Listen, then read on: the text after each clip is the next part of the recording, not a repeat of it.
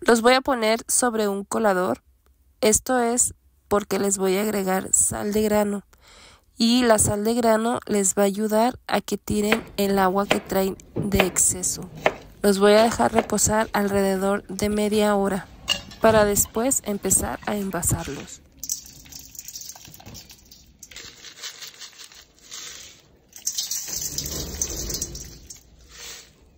Para preparar el vinagre vamos a utilizar vinagre de tu preferencia, ya sea blanco o de manzana, pero ambos tienen que ir en la misma porción.